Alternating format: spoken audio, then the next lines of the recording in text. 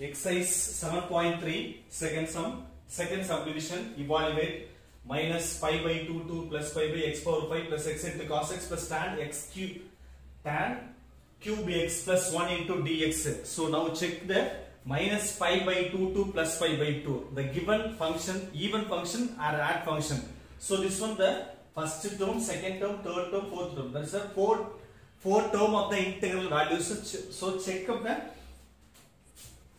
even function or add function. Why? Because minus pi by 2 2 plus pi by 2. So first of all, the given function is, let us consider to the value of this one is i. i that is equal to integral of into minus pi by 2 to pi by 2 into x power 5 plus x into cos x plus tan cube x plus 1 into dx plus 1 into dx.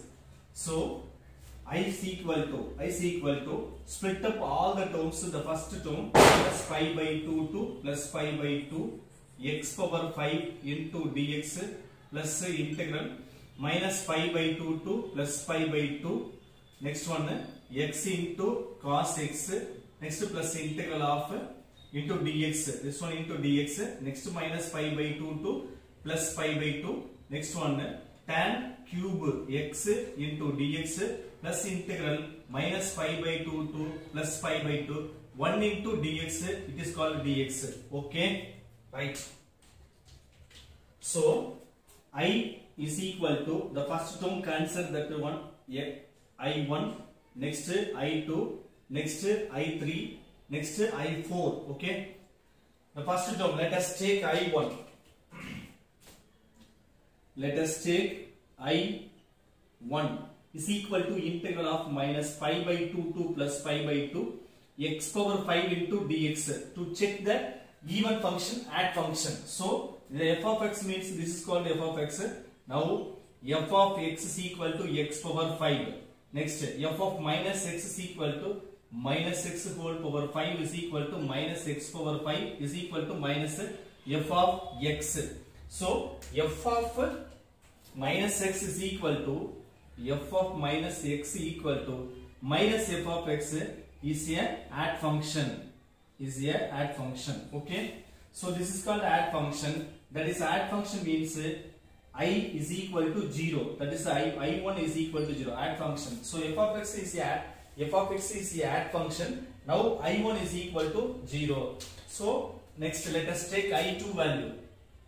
Take i 2 equal to integral of minus pi by 2 to plus pi by 2 x into cos x x into cos x into dx so where f of x equal to x into cos x okay next x replaced by minus x is equal to minus x into cos of minus x so is equal to minus x into cos of minus theta is equal to plus cos theta minus plus cos theta that is called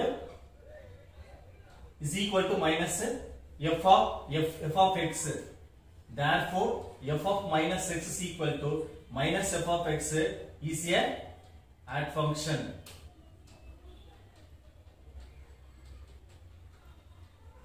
is a add function now i2 is equal to 0 add function i2 is equal to 0 so next term terms i3 let us take i3 value.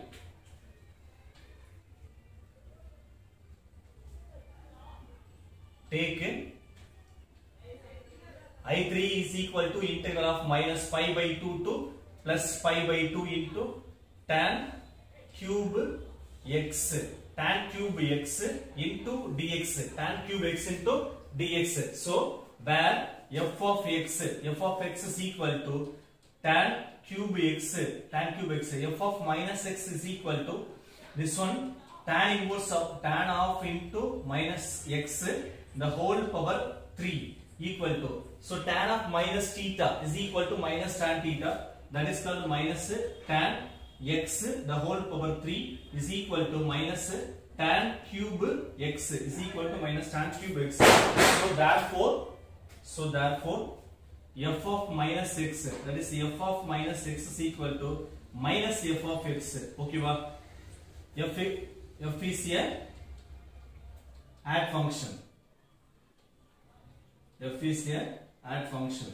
So add function means uh, i3 is equal to 0 add function means i3 is equal to 0 now the last term i4 okay? Let us take i4 take eh, i4 i4 is equal to integral minus pi by 2 to plus pi by 2 into dx. That is equal to so d integrate of dx is equal to x only answer. Limit minus pi by 2 to plus pi by 2 equal to upper limit pi by 2 next one lower limit minus of into minus pi by 2 so is equal to pi by 2 plus pi by 2 equal to this is called 2 times of pi by 2 this one cancels equal to pi so therefore i is equal to i1 plus i2 plus i3 plus i4 okay so i1 0 i2 0 i3 0 i4 means pi. That's all. So therefore i is equal to pi. We get the solution of second solution. Okay